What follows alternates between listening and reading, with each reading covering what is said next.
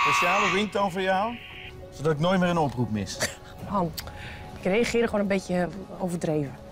Hoe erg is het als iemand een keer niet opneemt? Niet? Oké, dus? Dat is echt een probleem. Niks.